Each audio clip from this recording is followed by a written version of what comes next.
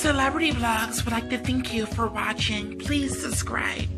Baby, I don't want to hurt nobody, but there is something that I must confess.